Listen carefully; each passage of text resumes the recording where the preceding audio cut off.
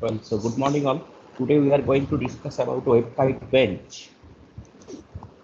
Let me share the slide first. So you can see the setup of a waveguide bench as it looks. So this photograph has been taken from our lab only. And now you see in this, we have different components connected in series. So if I start from left hand side, it starts with a microwave source. So we have in our lab two different types of microwave sources. One is reflex klystron. So it is a tube-based device. And the second one, it is a Gunn diode-based source. So we'll discuss. Excuse me, sir, you have been muted. So this source, it generates continuous microwave signal that is in CW mode. So it is like a sinusoidal signal generator, but the frequency is in X band, gigahertz range. So we can tune the frequency as we will see later. We have a mechanical screw here. By using this screw, we can tune the source frequency. Now, after the source, what are the different components? We have a pin modulator, which basically works like a switch off and on. Then we have isolator, next attenuator, frequency meter for measurement of source frequency. Then this is the slotted line with probe carriage. And other end, it will be connecting load, short circuit, antenna. So whatever you are going to measure, you will be connecting at this end. Okay. So in addition to this, here we have another instrument which we call VSWR meter. So it can directly measure voltage standing wave ratio inside the waveguide section. So we have to learn about this, how we measure VSWR by using this VSWR. Amplifier. Okay, it is a tuned amplifier. So let us now go step by step. What are the functions of different components and what is the purpose of using them separately. So let me start with Gunn diode. As you can see here, this Gunn diode, it is a special diode, but even though we are calling it a diode, we don't have any PN junction inside. It is a single semiconductor material, usually group 3, group 5 material. We have one experiment on Gunn diode. That time we'll discuss about its basic properties later. So for it is a same type uh, semiconductor material, usually group 3, group 5. And for this one, uh, we have a gallium arsenide. You can see this black color. It is actually the gallium arsenide. Now, cathode and anode, which are of course made of metal, it is connected to gallium arsenide. Now, when we apply DC voltage across this, over a certain range, it can generate microwave frequencies. It has different mode of operation. So mostly that frequency it is generating, it depends on the thickness of this gallium arsenide sample. So if I want it in X band operation, so accordingly we have to choose the thickness. Anyway, it is uh, from the manufacturer. So uh, with proper housing, it looks something like this, as you can see here. So inside the uh, Gunn diode with its uh, terminal connected, and from outside, these are two metal caps. Okay. So using these metal caps, then you can access the Gunn diode, which is sitting inside the cylinder. So this is placed inside the waveguide here. Now we need to apply DC voltage across it, right? And that's why you see one probe, it is coming out by using a coaxial cable and another one simply waveguide we can use for DC connection. So DC voltage will be applied between these two points. Now Gunn, it has different modes of operation. So frequency is little tunable and how we tune it by tuning the resonator in inside which this Gunn diode is placed. Now, where is that resonator then? It is basically a waveguide resonator. So you can see the, this is the side view. So uh, it starts from this left hand side to right hand side. So it looks like a cavity, right? A left hand to right side. Let me better zoom in. Then it is easier to see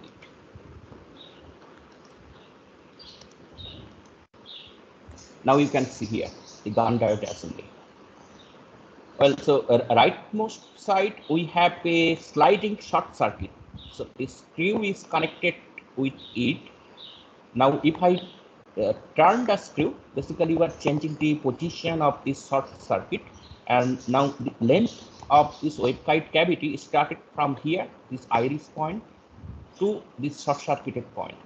Well, so you can tune the length and the length of any waveguide resonator, we are actually changing the resonant frequency of the waveguide resonator. But it is not an empty waveguide resonator. Inside we have the Gunn diode assembly.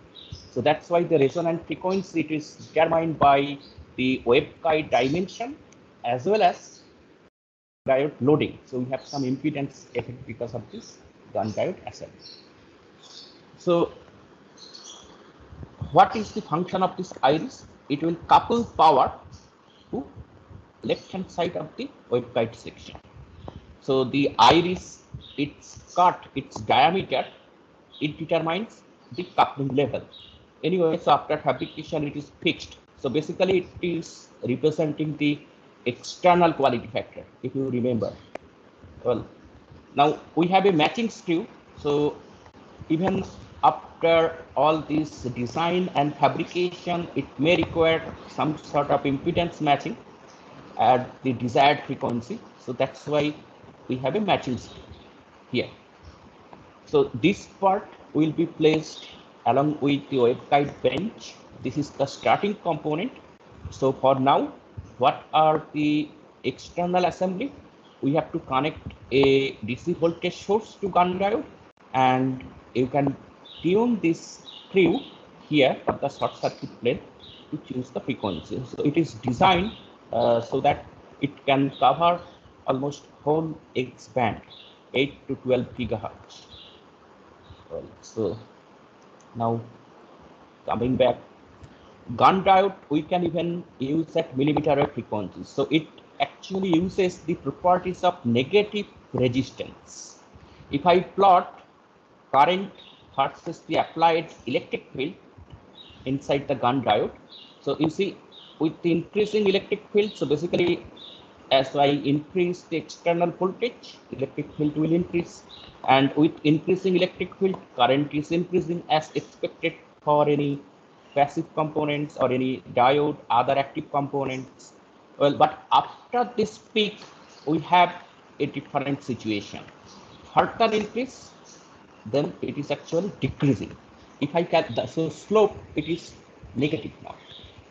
If I calculate resistance, it becomes now negative and it works as a power source over this region. So voltage value, you see, if I consider this peak to next uh, deep point, so it should be within this to work as a negative resistance oscillator.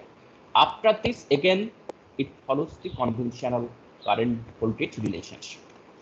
Well, so for now, that should be enough to start the experiment. So here is the Gunn diode short, so it's screw and okay, let me zoom it. This is the screw. So on screw actually a scale is there. So from this scale you can take some rough estimate of what is the frequency right now you are generating. After this, we have a pin diode modulator. Now, why we need a modulation? So let me uh, tell something about the VSWR meter. So VSWR meter, it is basically a highly tuned amplifier. Gain can be tens of thousand. Now, when we design such an amplifier with so high gain, then it will pick up also noise, it will amplify noise. So if the signal level is very low, you can end up with just amplifying noise and you can't see anything. So to decrease noise pickup, you know that we have to decrease bandwidth. How it can be done? So it is done, uh, th that's why we call it tuned amplifier. And inside we have a very narrow band band pass filter. Now it is not at microwave frequencies intentionally. Well, why? This VSWR meter it is connected by a cable to this probe, coaxial probe here, if you concentrate. And inside the probe, we have a crystal diode. So it is a Schottky type diode, metal with metal semiconductor junction. Now, if we apply some RF signal across this diode, that the output side will be having some DC voltage. So if input is a CW signal, then output is a DC voltage. Well, now if I ask you to design an amplifier with tens of thousands of amplification at DC, it is not possible because at DC uh, you can have charging, discharging effect and voltage level can be shifted easily. So we try to avoid the DC voltage. Then what is the uh, optimum frequency where we can design this amplifier? It is in kilohertz range. Unnecessarily, we should not go to megahertz range. Then it would become expensive and other difficulties will be there. So typical values used by all manufacturers is 1 kilohertz. You remember that 1 kilohertz. So now let's say the CW wave is coming and on CW wave I am applying some amplitude modulation of 1 kilohertz. Then the output DC voltage, it will be modulated voltage that varies with the modulated frequency. So basically, if I apply 1 kilohertz left hand side modulation, output signal will be 1 kilohertz modulated signal, eh, 1 kilohertz signal. Now I can then apply it to this So for this purpose, we need a modulator, which is a pin diode modulator. So a pin diode, uh, the middle layer is an intrinsic layer. It uh, it is uh, designed so that uh, the capacitance offered by the diode is very small. Conventional PN junction diode will have high capacitance. Okay, okay, just sorry, uh, I'm having a call. One minute.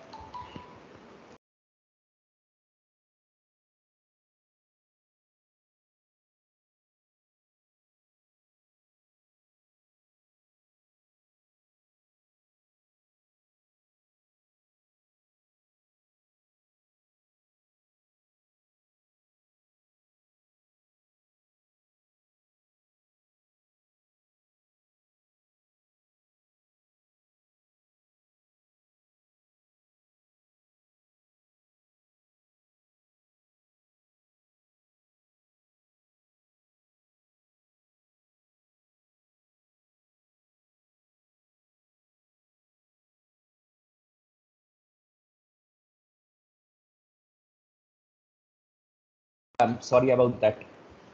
Anyway, so uh, this pin diode, when it is on, it provides a low resistance. That resistance value depends on the forward bias current. If we set, let's say, 10 milliampere or higher forward bias current through pin diode, then typical resistance will be just 1 to ohm. And in reverse bias, it will offer a very small value of capacitance. Now, uh, why PN diode? Why not a PN junction diode? Because for PN junction diode, the junction capacitance is much higher and we can't use that much of capacitance at micro frequencies because frequency is very small, it's very high, then the reactance will become small. So if I use a pin diode, you consider a transmission line. To a transmission line, I connected a pin diode between the signal line and ground. So in shunt configuration. Now when it offers low resistance, then we can actually replace it by a short circuit. Wave will be reflected.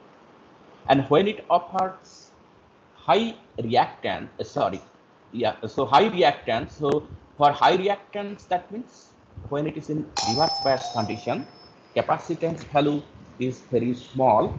In that case, it will offer high reactance. Then we can modify an open circuit. Okay. So if I then switch on and off periodically, then we are making it open circuit and short circuit at this. And this provides the desired signal modulation. So after modulation, then how the signal looks, I'm showing a picture here. So after pin diode modulation, then signal looks like this. So if I compare it with amplitude modulation, then actually modulation index is one. It's going completely off or on. So when it is on, it is sending microwave signal. When it is off, right hand side, we don't have anything. So you understood then what is the purpose of pin diode. Now after pin diode, you can see we are using uh, using an isolator. So why isol what is isolator first of all? Isolator directs or allows power only in one direction. So it will allow power from left to right hand side, but not from right to left hand side. Why is so? The reason is that you see at rightmost end, you will be changing the condition. Sometimes you will connect antenna, sometimes a short circuit plane, sometimes a load. So that means you are actually changing the loading to your uh, oscillator or the resonator circuit. Now, if I keep on changing a loading to my uh, oscillator circuit, which is designed for some optimum load here, then actually it can affect your resonant frequency that we don't want. So we don't want any reflected signal to come back to oscillator. Otherwise, it can interfere with the oscillator and it can change the source frequency. So to avoid that, we are going to use an isolator. Well, so after isolator, then we have an attenuator. Let's say we need to tune the signal amplitude. How we can do? So that's why you are using an attenuator. So this is a screw, you can turn it and you can see the reading here on the scale. Okay, and you can select the attenuation value. Okay, till this point it is done. After this, we want to measure the frequency accurately. How we can do? We use a frequency meter. It is a cylindrical resonator which is connected to waveguide through a small aperture. Well, uh, let me explain a little using the whiteboard. So it works like a band stop filter.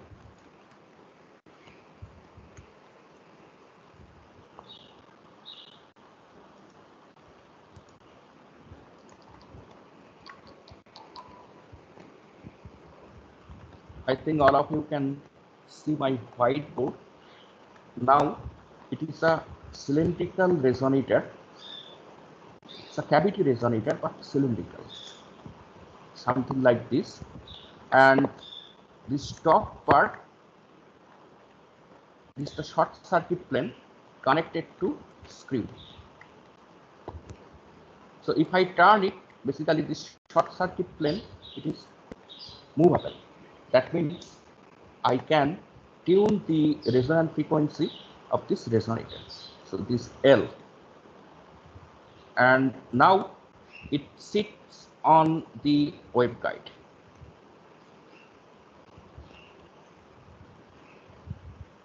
It sits on the waveguide section.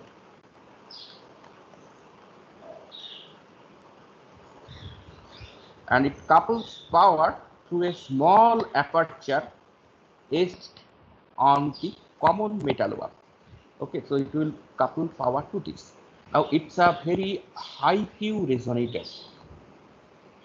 Quality factor is very high.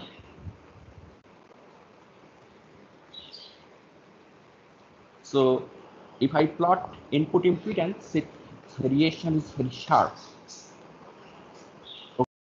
Now, let's say from left hand side, you are feeding it with some signal and it is propagating through the waveguide. Its frequency, some arbitrary frequency I'm considering 9.4 gigahertz. Now the cavity resonant frequency, you can change it. So you keep on changing the cavity resonator. The moment its frequency is also 9.4 gigahertz, it will interact with the waveguide. It will provide actually some impedance. And because of that, what will happen? So at that point, signal will be reflected back from here. Now, this side, if I connect it to that amplifier or VSWR meter, then what we will see? So this waveguide section is uh, connected finally to VSWR meter. Then if I keep on turning the cavity meter, the point at which cavity resonant frequency is the same as the source frequency, we don't have any signal at the output side or VSWR meter pointer, it will suddenly go to zero point. So since it's a high Q resonator, the tuning you have to do very slowly. So you should remember that when practically you use it, so tune it very slowly. Otherwise, you will miss that resonant frequency because if I move it to 9.41 or 9.39, you may not have uh, any coupling of power.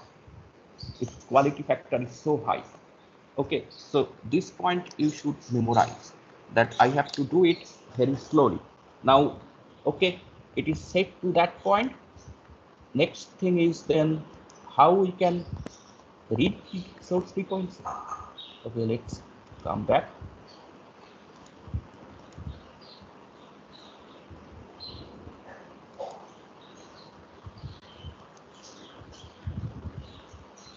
you can see on this meter, we have a scale and two red lines here.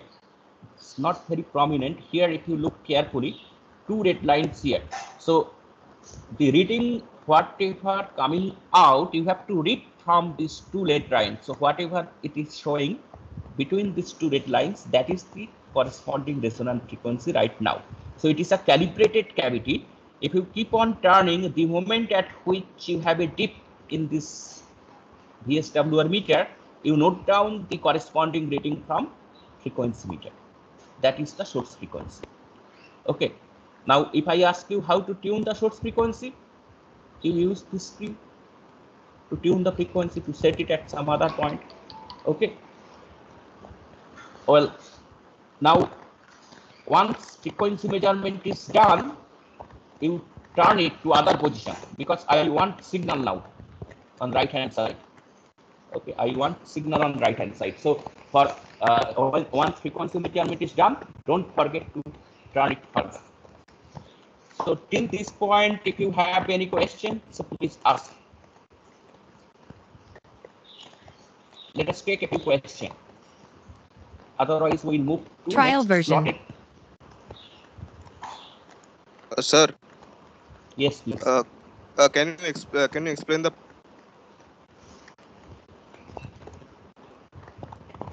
Sorry, I could not hear your question. Can you please repeat? Uh, uh, can you explain the purpose of the pin modulator again? Like, what is the purpose of the modulated signal? Like, why is it modulated like that? Okay, so the purpose is to take some reading from VSWR meter. Now, inside this probe, we have a crystal detector. I'm coming to this point in details later. So crystal detector, it is like a sh- uh, Junction. If CW wave falls on it, then the output side it will generate DC. But we can't design a high gain amplifier at DC because of the noise problem. Then we can have charging, discharging of capacitor, capacitive effect basically, and for the DC level can shift. So basically, the conclusion is that we can't design a very high gain amplifier at DC. Then I need some AC frequency. So to do that, we need this modulating source. So it is modulating at a frequency, pulse repetition frequency of 1 kilohertz. Then for the detector diode output frequency, instead of now DC, it will be 1 kilohertz modulated signal. That square wave, it will follow the envelope. It is a detector circuit basically inside this probe. Detector you learned in your analog communication. Envelope detector, you recall? It's very much similar to that. So it will follow the envelope. That's all. That is the purpose of this modulator, uh, pin diode modulator. Well, so next is the Sir, slot. sir, could you also Yes. explain about the attenuator, sir? Because when you shared the screen, it was not updating, and I had to leave and rejoin the meeting. Uh, Okay, uh, we, we don't have enough time means to explain how the attenuator works. So let's say if you want to change signal level, there should be some scope to change the signal level. So if I put some attenuation, that will decrease the signal level. That is the logic. So you can do it and you can uh, directly measure the attenuation which you are applying from this given here. Okay. So the purpose of attenuator just to change the scale. Now let me Sir? come. Yes, please. Sir, uh, uh, after measuring the frequency, where exactly is the frequency cylindrical resonator connected? Means how, uh, means what length it will be changed to? So that actually you don't know. So source is fixed. Okay. After that, after uh, source is fixed, then you keep on turning your frequency meter and look at the VSWR meter. Okay. So when signal is coming, VSWR meter will show some reading, and the moment cavity resonator frequency and the source frequency is the same, it will show a dip VSWR meter because we don't have any signal propagating now towards uh, VSWR meter. It is reflected back from this frequency meter. And that point you stop and measure what is the frequency, note down from this scale.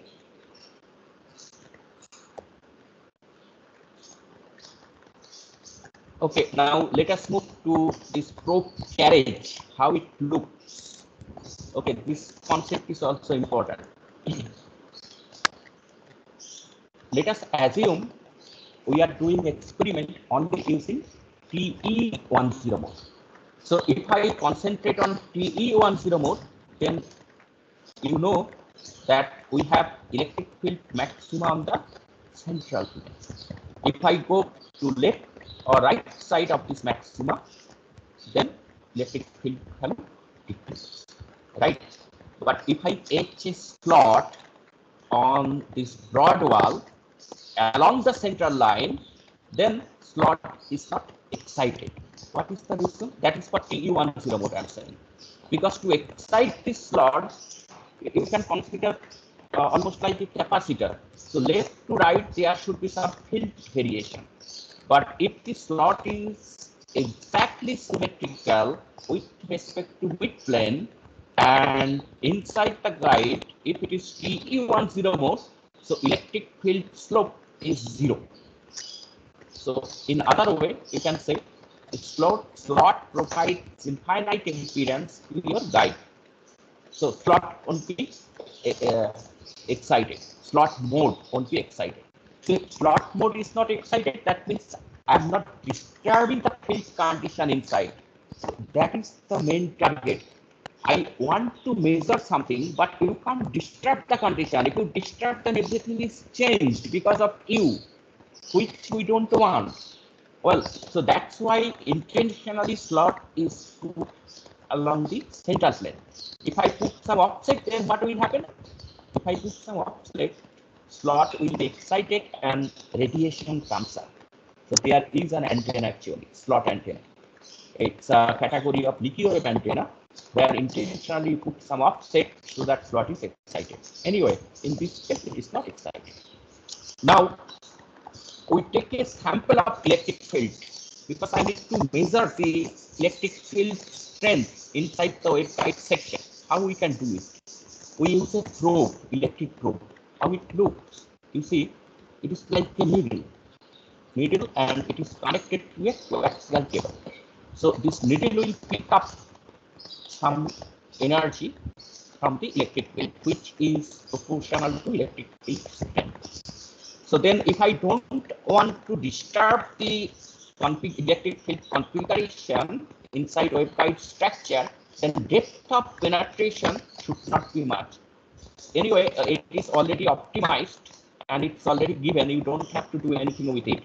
So only a small tiny part will be penetrated inside the waveguide. Okay, so so that it does not disturb the electric field conduction uh, appreciable values. So this disturbance is insignificant for our case. Now it is picking up the signal. What type of signal? You remember from left hand side, we are having this sort of waveform, up and on, off and on. It is look like amplitude shifting, right? So it is picking up this signal. So we have microwave signal. Now it is connected to a coaxial you see, impedance in the network. It looks like one shunt matching configuration. Now this outer conductor and inner conductor, outer conductor and inner conductor actually it is movable.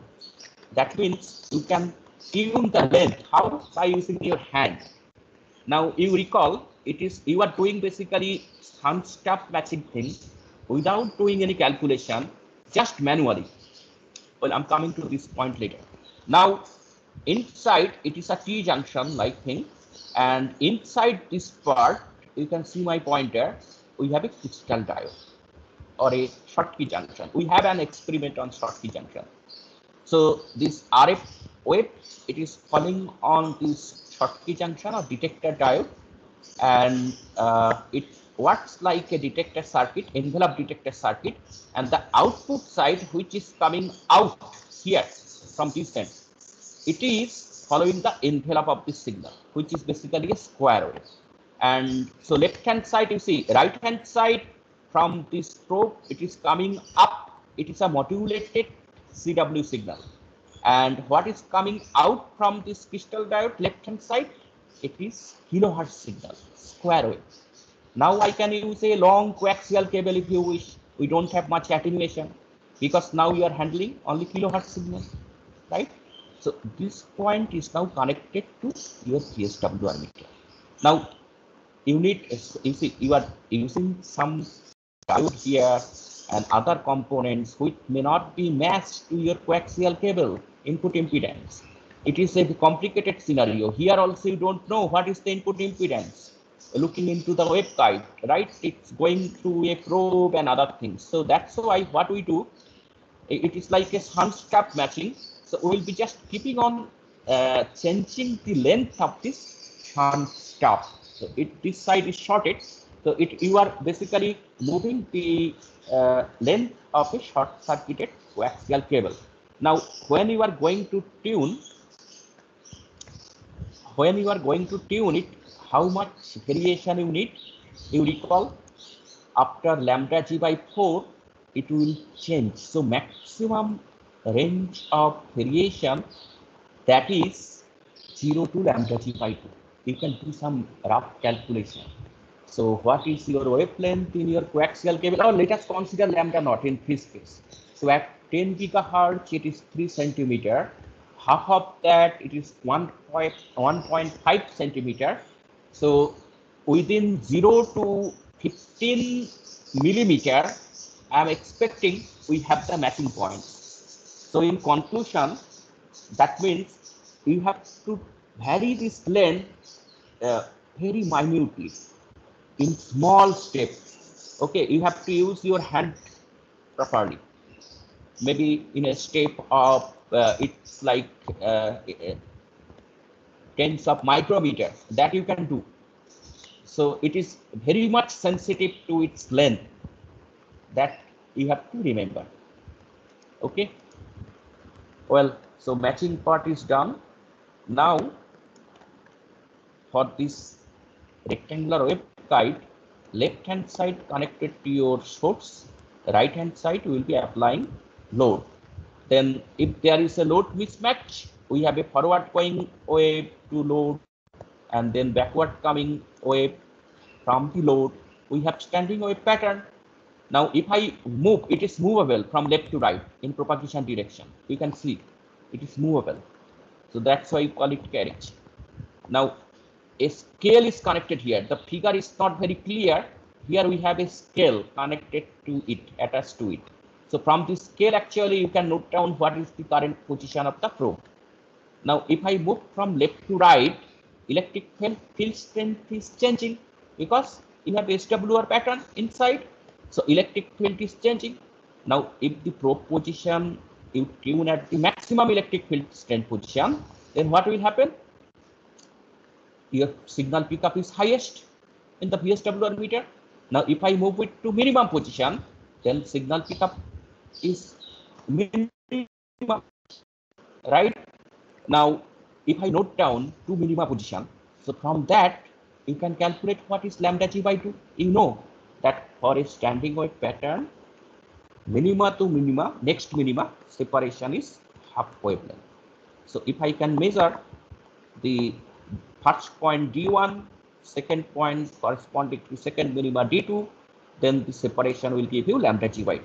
So that's how directly you can measure lambda g by 2 at the guided wavelength. Okay.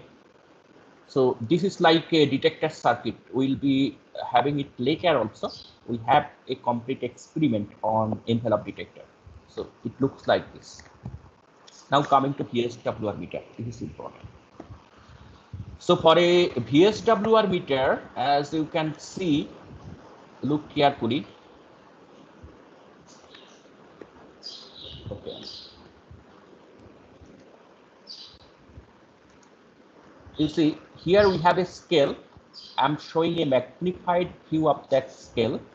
And on the board, we have many knobs. One for fine, uh, one force. This is actually for gain control.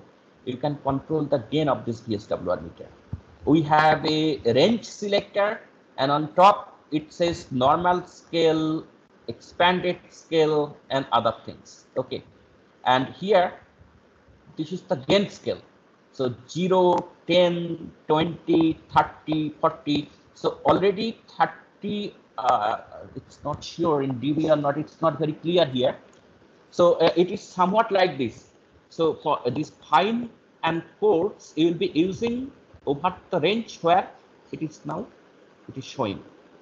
You can set, you can tune between 10 to 100, let's say, for one scale.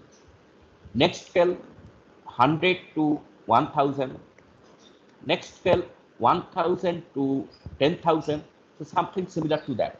So if select this scale then you can use this coarse and fine screw to tune the gain further. Below it is impedance selector well we have basically three different stages that will offer three different impedances so it varies actually from instrument to instrument. So I'm giving here some standard values used by most of the instruments. So if I go to normal position, then input impedance is 200 ohm. This impedance is to your kilohertz signal. You remember, when I'm connecting the cable to VSWR meter, it is kilohertz signal, square wave coming here. Now, crystal low typically it represents low resistance 100 ohm or in some meter 50 ohm. Crystal high 500 ohm or in some meter it is 600 ohm. Well now you look here what is the sensitivity? You recall in your basic electronics lab how you measured signal in CRO when the signal level was just a few millivolt then noise is superimposed on the signal and you can't find a very clear or distinct trace of sinusoidal signal in sphere. So you will see that it spreads looking like a thick trace. Why?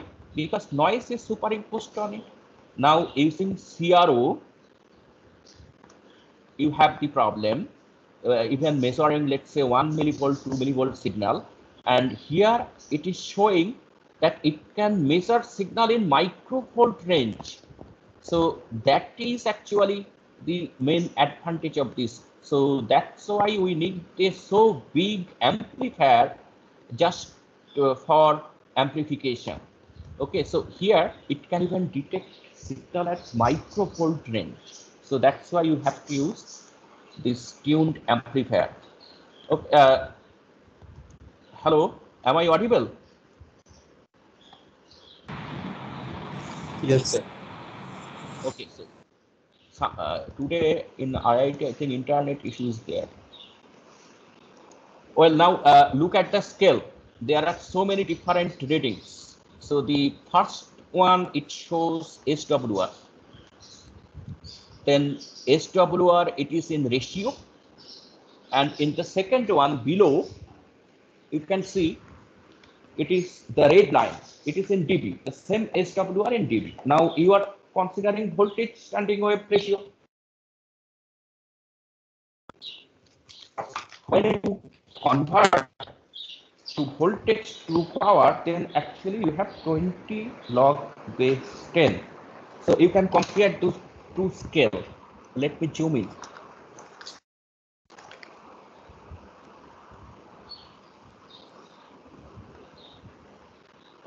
Having issues. Okay.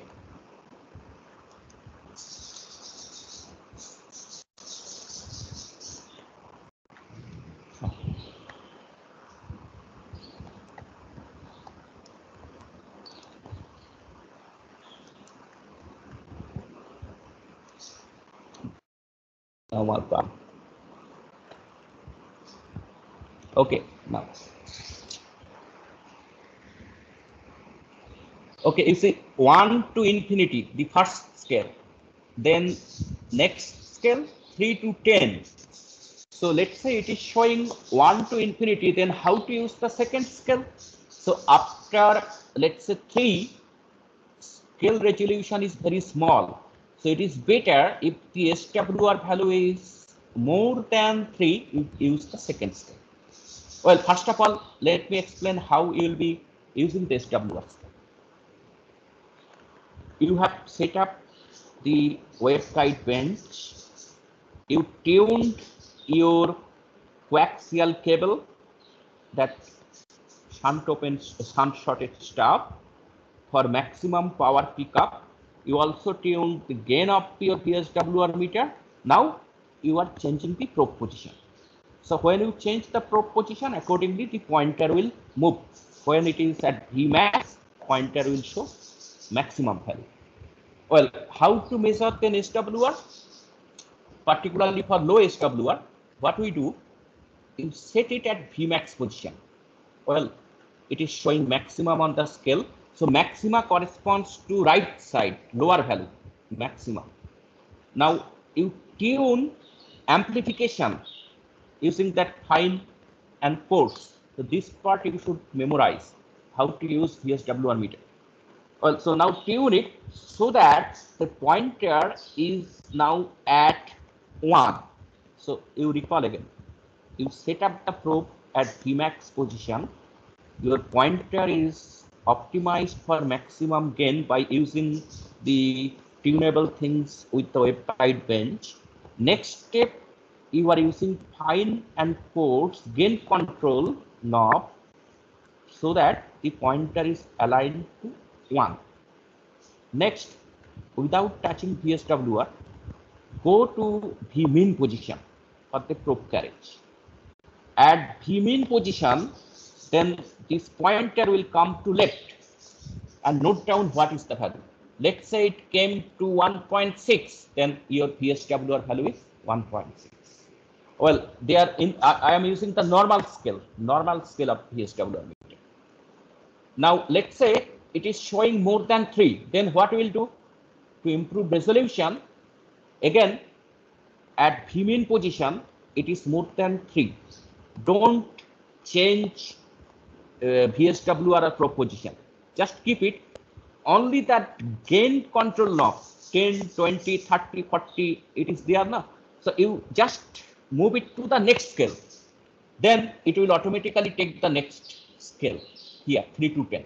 3 to 10, automatically it will take. So the pointer will also, it will change accordingly. So let's say pointer, its new position is 4.5. Note it down, then your SWR is 4.5. So how I use the second scale? By changing that gain control scale to next level. Corresponding uh, value in dB, you can note it down from here. We can have, uh, so for accurate measurement when VSWR is very low, you can use the expanded scale. So the scale selector is here. Here, the top right is fine. Then the second one on top left, it is actually you can see, uh, normal, then expandable, all other things. So for the top two, you are using the normal scale. Well, that's how we use the VSWR meter. Now there is some issue when VSWR value is very high how to measure it accurately. The method we use to measure VSWR accurately when it is high, we use, we call it double minimum method. Well, so what is that double minimum method? Let me just tell a little on it.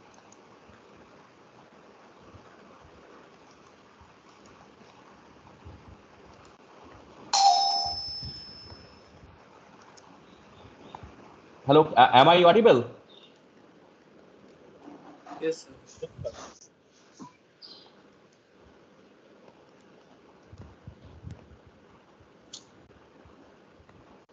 This is strange.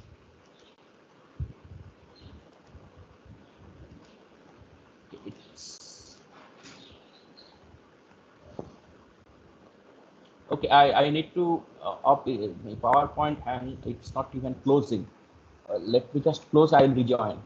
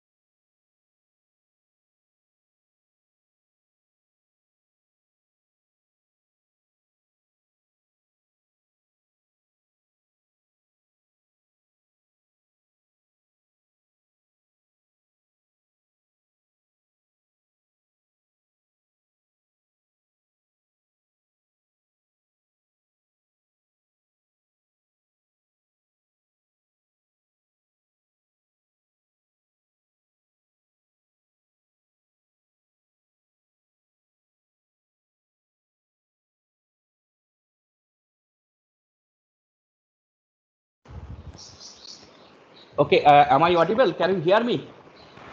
Yes, sir. Okay, so here I'm going to explain about double minimum method So one method I gave you in the manual, well, uh, you can follow that method or you can also follow this method which I'm going to discuss right now. So you please take a note. You take your copy and take a note about this method. So this is about what? About how to determine VSWR value correctly when it is high, let's say typically 5 or more. So in that case, how we can use the VSWR meter. Otherwise, for low value, as I said, that you have to, you can use SWR meter directly, right? So for high now, how we can do it? It's called double minimum method.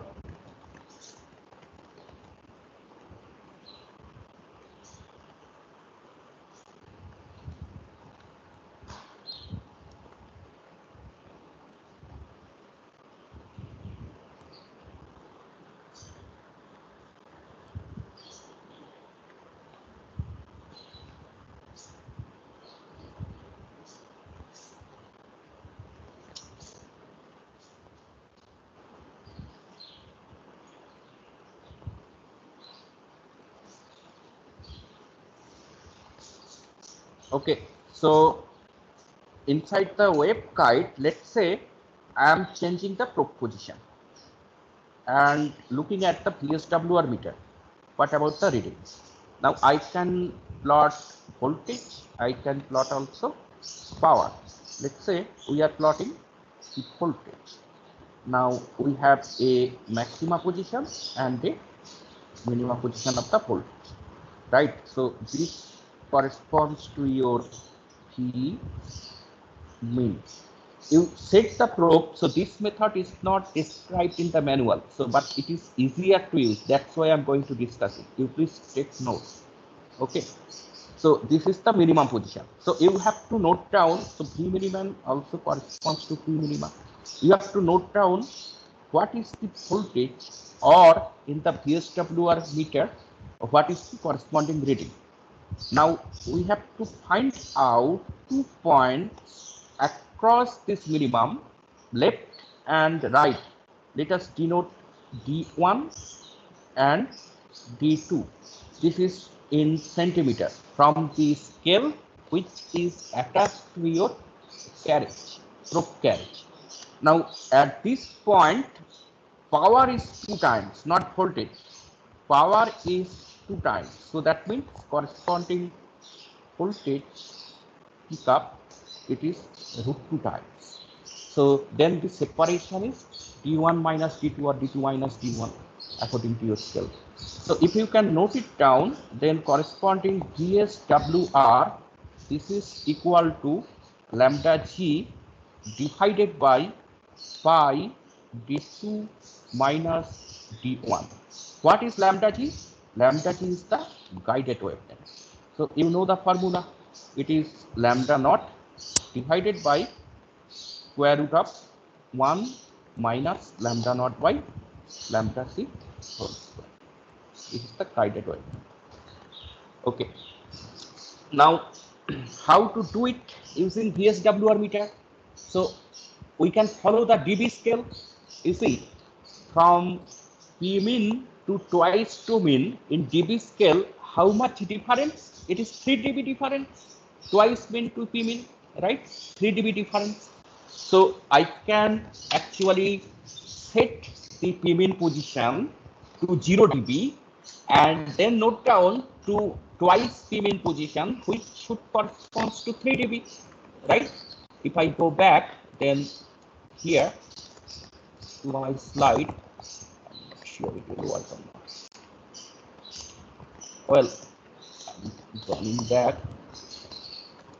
to slide. I think you can see them tuning in. Well, so here as we discussed that maximum position corresponds to right hand side minimum position corresponds to left hand side. Now we are going to do with respect to V minima. So what I can do then at V minima, I can set my pointer at 3 dB. I can set my pointer at 3 dB like this. You can use your scale control, gain control, whatever, and put Vmin position at Vmin position at 3 dB. Now, once it is done, move the carriage left side or right side where this pointer moves to 0 dB, right? So there you have twice uh, Pmin and now note down D1 and D2. That's all. So usually when we use some mechanical now always we go left to right or right to left. So don't change. So let's say V1, Vmin position is at 3.4 centimeter. Vmin position as 3.4 centimeter. So don't go towards left side 3.2, 3.1. If you go, then keep on going only to left side. Okay. Otherwise, there can be some slip whenever we use some screw, and if you turn from left to right, then right to left, there can be some slip and measurement error. So you start from left and go to right side always, or, or go to right side, rightmost minima, and keep on going to left side. And that's how you note down the D1 and D2. You can do it. So just uh, note it down. So 0 dB rate scale corresponds to which SWR scale? So 1, if I convert to dB, it is 0, right? Now 2, it is 20 log. So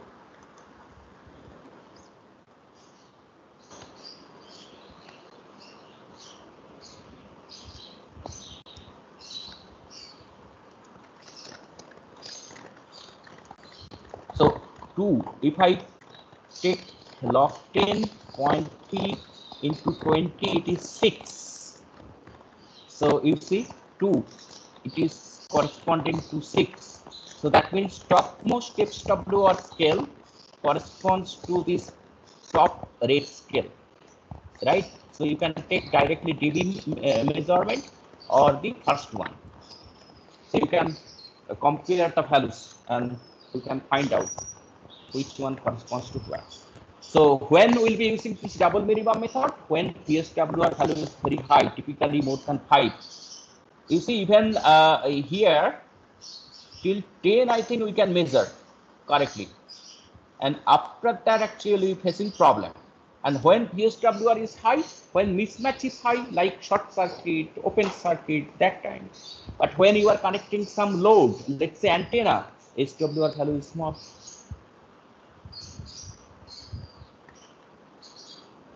Well, so let's stop here.